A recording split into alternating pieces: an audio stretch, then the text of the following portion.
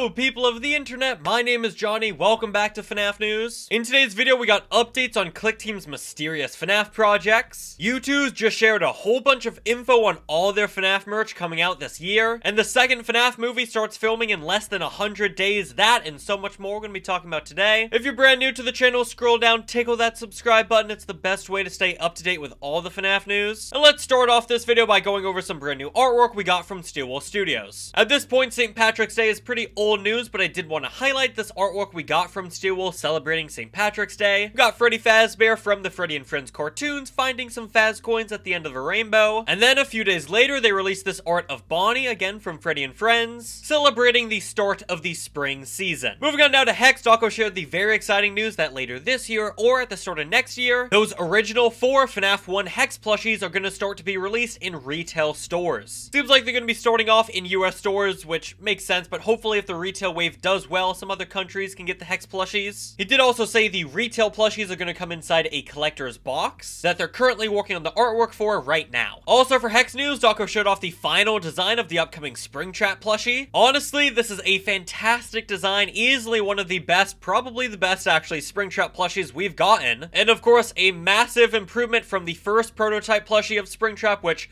Dawko did show off, but something you may notice is that Springtrap doesn't actually have a knife. Previous looks at the plushies did reveal he would have a knife accessory, but it looks like for the final design, it is now a shadow cupcake from the FNAF 3 minigames. Dawko chalked this change up to merchandise companies just not usually liking knives and other violent content on their plushies, which I can understand. We did also say Springtrap doesn't even have a knife, but Lewis Dawkins Dawkins, I would love for you to find me a photo of Springtrap holding a cupcake. I'm really not too upset about the change. I think the plushie overall looks fantastic anyway, so I'm not gonna get upset about a knife. But I'd love to know what are your thoughts on this brand new look, the Hex Springtrap plushie. He should be releasing pretty soon alongside Withered Chica, as well as Withered Golden Freddy, both of which we've seen previously. Moving on now to Youtooz, they showed off some interesting concept art for a possible Withered Balloon Boy figure. Now, of course, Withered Balloon Boy is not an official canon FNAF character. In fact, Withered BB is actually actually a fan-created hoax character, so there were a lot of people confused but also fairly intrigued by this concept art. Seems like fan reactions were split down the middle, a lot of people very intrigued by a possible hoax wave, but there's also a large part of the community that is against fan characters and fan hoaxes getting merchandise. So I'd love to know what are your thoughts on possible hoax characters getting merchandise. My take, as long as the original creators of the hoaxes and fan designs get credit, no they give the okay, the approval, or at the very least get sent the figure and or a plushie, then honestly, I'd be down for a hoax wave. I'm very curious to see whether or not this Withered BB figure actually sees the light of day. But a Balloon Boy Youtooz that will see the light of day is this brand new BB plushie. We've only seen the back of this fella so far, but already, I mean, his design looks absolutely incredible. This Balloon Boy plushie is expected to be released around June. Balloon Boy is not the only FNAF character getting a new plushie because Mike from the FNAF movie also is getting a plushie. It was revealed that the FNAF movie wave is actually going to be split up into two different waves, with the first wave, which includes four plushies as well as some figures releasing in June, and the second wave, which will also include four plushies and most likely some more figures releasing in September. So not only do we have this Mike plushie likely releasing in June, that first wave, it was also revealed that Abby as well as the Yellow Rabbit will also be getting plushies. As a matter of fact, Abby's also getting a figure, however, it's not exactly an Abby figure, because Youtooz revealed that Abby's figure is, quote, part of another figure, which likely means that Abby is going to be with another character in whatever figure form this is, whether it's her with Mike or maybe it's her with Golden Freddy outside the pizzeria. So I'd love to know what are your thoughts on the FNAF movie wave. We're going to be getting a lot of plushies, probably a lot of figures as well. We're not done with Youtooz just yet because they released a gigantic AMA on their subreddit, and that answered a lot of questions that fans had about their upcoming FNAF merchandise. They revealed a Moon Nightlight is coming pretty soon. Previously, we've seen a Sun Nightlight. The previously revealed Wet Floorbot plushie is coming soon, as well as a brand new Roxy Shoulder Rider plush. A brand new FNAF poster is coming soon, most likely one for FNAF 3. The keycaps are still in production, and actually they've been delayed to later this year. New Fanverse merchandise is currently in the works, with Blake the Badger ideas currently being looked at. Fredbear slash Psychic Friend Fredbear will be in a future wave, quote, for sure. Youtooz also revealed that 10th anniversary FNAF products are currently in the works, but we're not sure exactly what those are. The sister location figures will probably be released next